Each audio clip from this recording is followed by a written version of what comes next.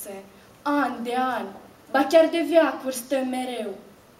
De o parte, cei ce sunt cu bani, de alta, cei cu Dumnezeu.